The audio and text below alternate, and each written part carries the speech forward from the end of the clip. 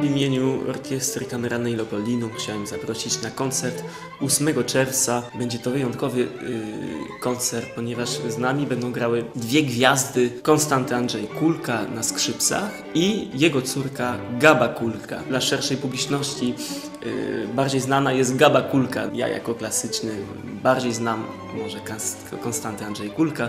Każdy wrocławianin, y, meloman musi przyjść na ten koncert, ponieważ y, będą wykonane też koncerty Lipińskiego y, skrzypcowe. Koncerty Lipińskiego są bardzo rzadko ogrywane, bo są bardzo trudne, a tutaj mamy taki, takiego solistę y, Andrzej Kulka, który wykonuje te koncerty bez, bez problemu i, i, i z, wielkim, z wielkim wyrazem artystycznym. W drugiej części y, z Gabą Kulką y, zagramy aranżację jej piosenek na smyczki, na smyczki i oczywiście głos, więc to będzie taki rodzinny, można powiedzieć, koncert Orkiestra Kameralna Leopoldinum z gwiazdą rozrywki, jeśli można tak to nazywać. To jest oczywiście ambitna rozrywka.